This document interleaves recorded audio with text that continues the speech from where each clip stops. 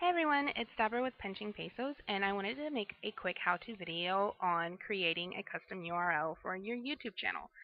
Uh, if you've noticed, uh, your current YouTube uh, URL for your channel is a really long series of uppercase and lowercase letters and numbers and dashes.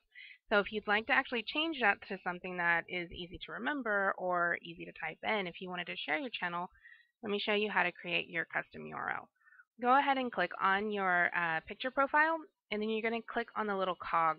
Uh, that's for your YouTube settings and it brings up your account section. From there, all you need to do is click on the advanced button and you can see your current URL is here.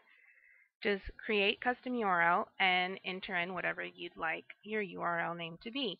Now, remember, you only get to change it once, so make sure you come up with something that you want to keep uh, because once you've set it, uh, you don't get to change it again. So anyway, that's how you create your custom URL for your YouTube channel. I hope you found this little video helpful.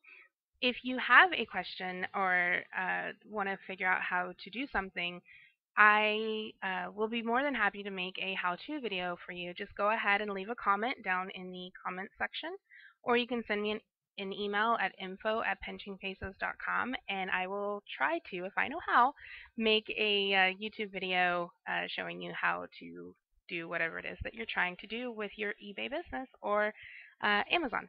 So anyway, I hope you enjoyed the video and give it a thumbs up if you liked it and make sure to leave a comment and have a good night.